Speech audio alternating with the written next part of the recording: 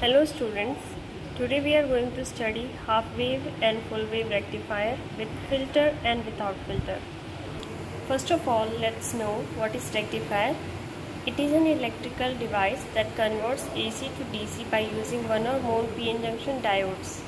So rectifiers are classified into different types based on the number of diodes used in the circuit and the arrangement of diodes in the circuit. This is the classification of rectifier circuits. So rectifier circuits are divided into two as half wave rectifier and full wave rectifier. Then full wave rectifiers are subdivided into full wave rectifier with center tape transformer and full wave bridge rectifier. This is the circuit diagram of half wave rectifiers and its waveform. Here the diode is arranged in forward bias.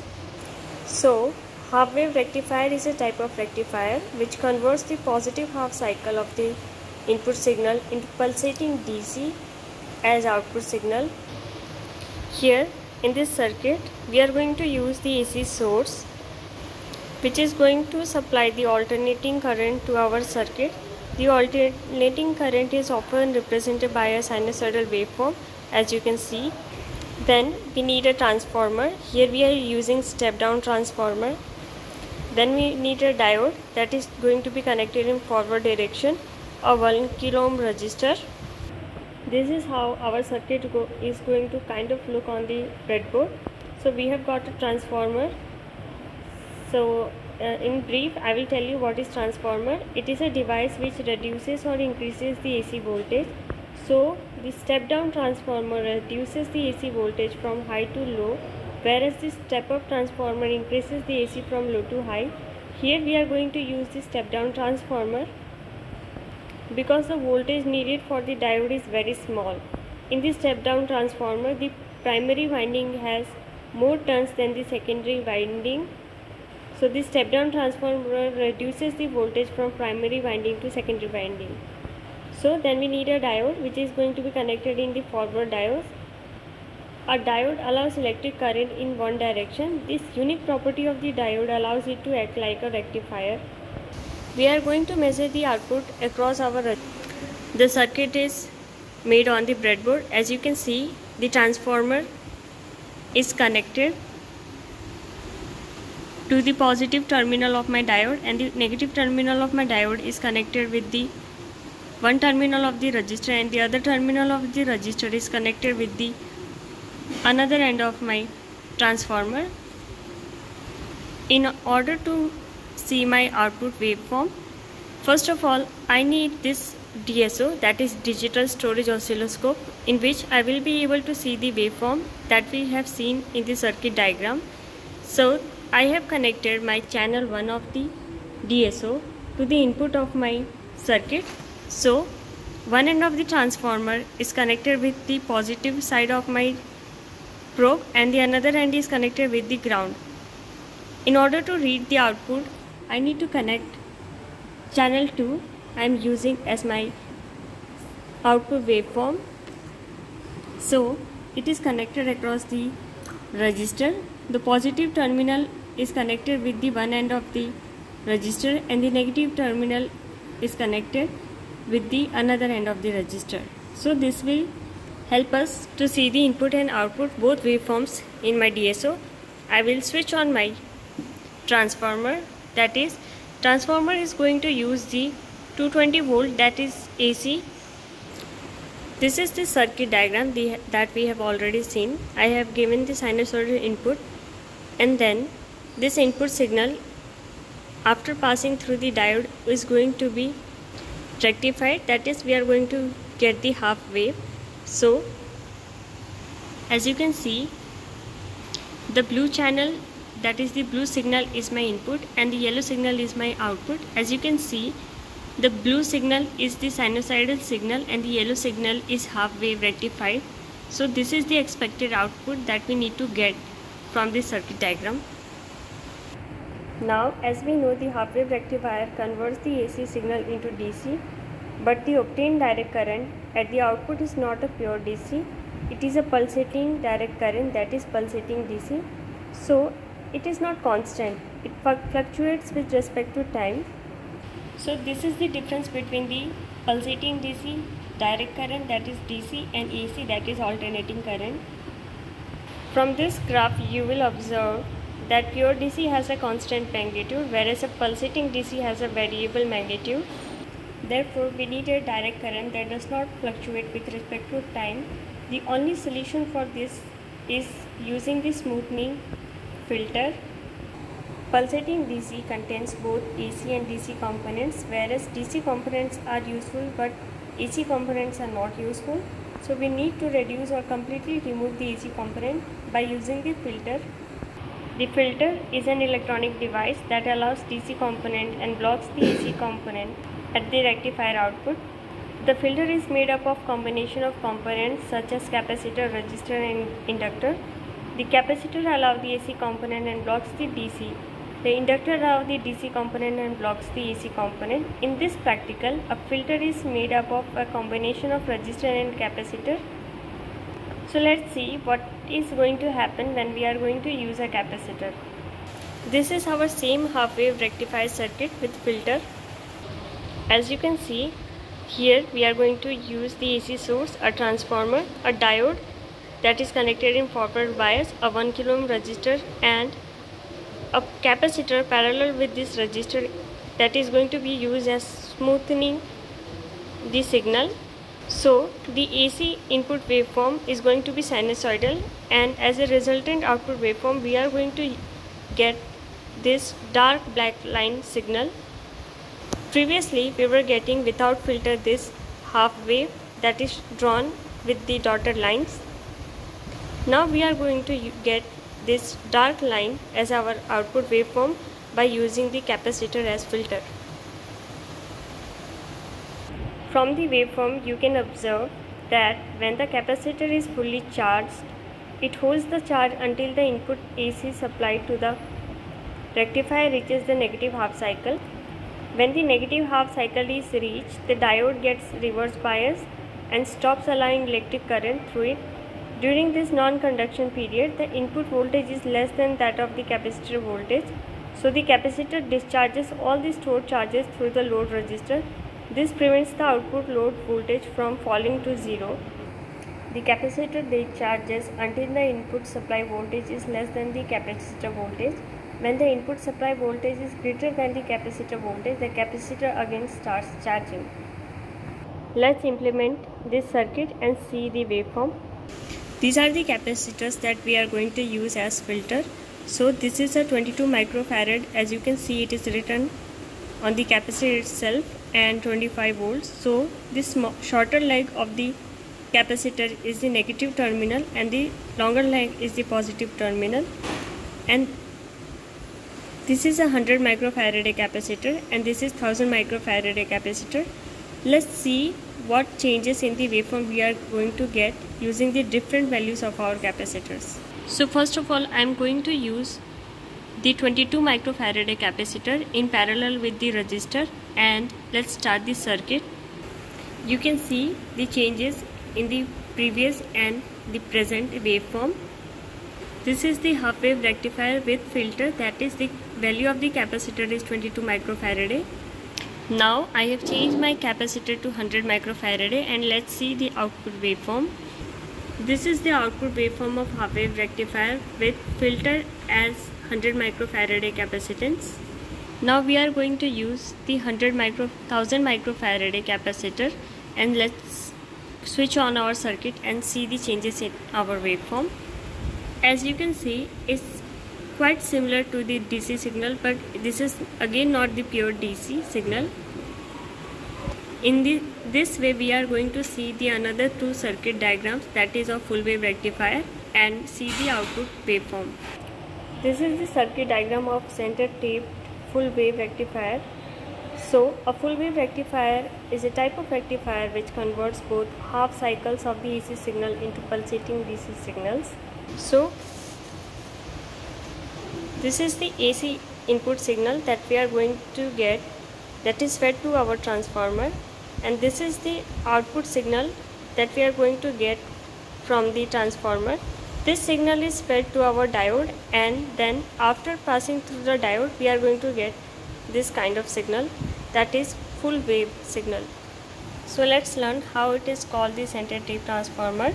So this is my transformer and when an additional wire is connected across the exact middle of the secondary winding of a transformer that is this wire then it is known as the center tra tape transformer. The center wire is adjusted in such a way that it falls in the exact middle point of the secondary winding.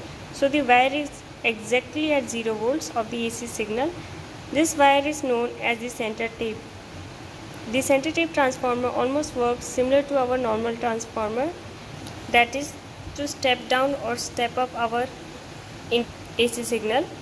So the important feature of our center tape transformer is that the secondary winding of the center tape transformer divides the input AC signal into two parts. The upper part of the secondary winding produces a positive voltage and the lower part of secondary winding produces a negative voltage.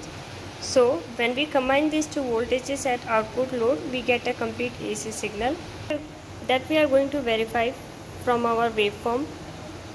The upper part of the secondary winding is connected to the diode D1 and the lower part of the secondary winding is connected with the diode D2. Both the diodes D1 and D2 are connected to a common load that is our resistor with the help of this center tape transformer the center tape is generally considered as the ground point or the zero voltage reference point. During the positive half cycle, the diode D1 is in forward bias and diode D2 is in reverse bias. So D1 will allow the current to flow through it and D2 will not allow the current to flow through it and it will be switched off.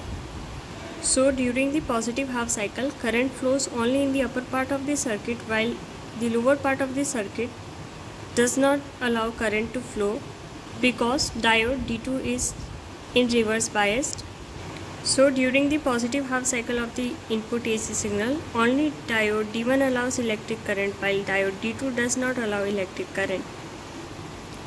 During the negative half cycle of the input signal, the upper terminal becomes negative and the lower terminal becomes positive as you can see and center tape is grounded Due to this, the diode D1 will not allow the current to flow through it and diode D2 will allow the current to flow through it in this condition. So, the second part of the circuit will carry current and the upper part of the circuit will not carry any current. As a result of this both positive and negative half cycle, we are going to get a full wave at the output that is across the diode this is the circuit without filter so let's implement this circuit on our breadboard and see the waveform. This is the three terminal of the our transformer. This is the upper part, this is the lower and this is the center wire that we are going to connect with our resistor as you can see and it is then grounded. We are going to measure the output across our resistor. So let me explain you the circuit. The upper part of my transformer is connected with the positive terminal of my diode D1 and the lower part of my transformer is connected with the another positive terminal of my diode D2 and both these diodes are connected at a single place. The load resistor is connected at the negative terminal of both the diodes to be connected at the same place and the another terminal of my resistor is connected with the center tape wire of the transformer. So let's see the output by switching on our circuit. As you can see, this is the output waveform that we are going to get across our resistor. The blue line is my input signal and the yellow is my output signal that is same as we have seen in our circuit diagram that is full wave using the center tape transformer. Now let's move the, to the last one that is bridge rectifier. Before moving to the bridge rectifier, once let's see using the capacitor what we are going to get the output waveform that is we are going to connect the filter in parallel with our load resistor. Circuit is the circuit is going to look like this that is this is going to be our AC input signal and the waveform that we are going to get is going to be this the full wave DC output. So the same diode D1 and D2 are connected and a load resistor is connected between the diodes and the center tape wire and in parallel with our resistor we are going to add a capacitor as filter. This is the AC input waveform and this is the output that is we are going to get from the diode D1 and D2 and this is the output that we are going to use after connecting a capacitor. This is the circuit in which I have connected the capacitor of 22 microfarad. Now I will switch on this circuit and we can see the output by using the capacitor.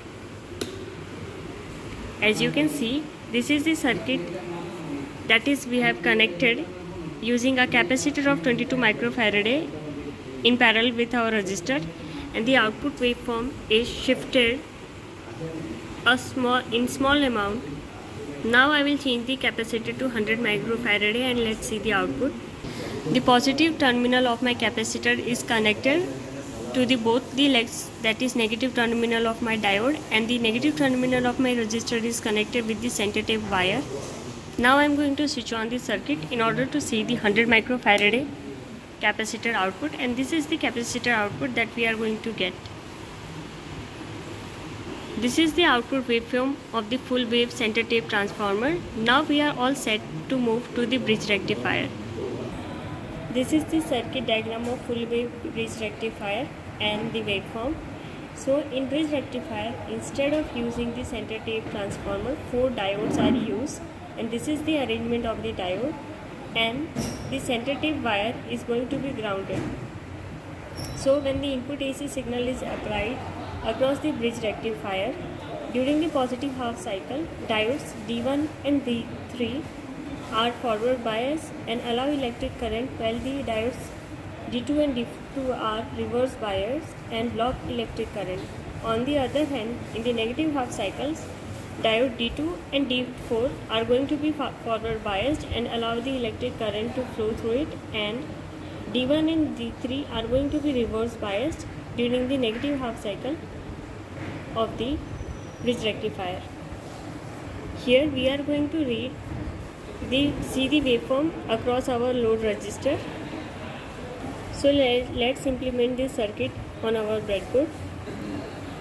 So this is the transformer and the upper part of the transformer is connected to the diode this is the diode D4 and D1 and the lower part of the transformer is connected with the diode D2 and D3 and this sensitive wire of my transformer is going to be grounded.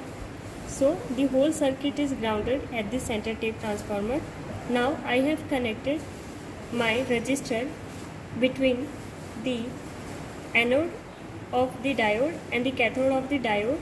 The resistor is connected and I am going to see the waveform across my resistor. This is the waveform that we are going to get. Now I will merge my input and output signal and you can see we have got the same output waveform that we have got in our center tape transformer. So a question may arise that if we are getting both the full wave waveform same in center tape and bridge then why we are using bridge? So the answer is that the tape transformer has a drawback that is it is very expensive and occupies large space. So in order to cut this extra cost scientists developed this bridge rectifier that is we don't need the tape transformer and at the lower cost, we can implement our full wave, full wave using the four diodes only.